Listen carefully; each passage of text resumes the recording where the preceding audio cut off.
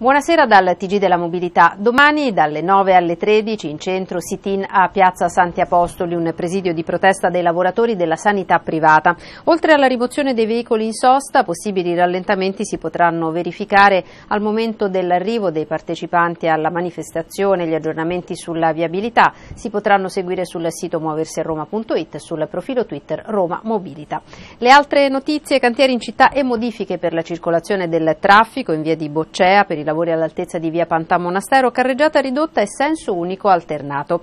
In via Nomentana, cantiere sulla rete idrica all'altezza di via Ettore Romagnoli, in questo tratto senso unico alternato sino al prossimo 14 settembre. Infine a Monteverde Vecchio, divieto di transito in via Massi per lavori di ripristino del fondo stradale tra la circonvallazione Gianicolense e via Guinizelli.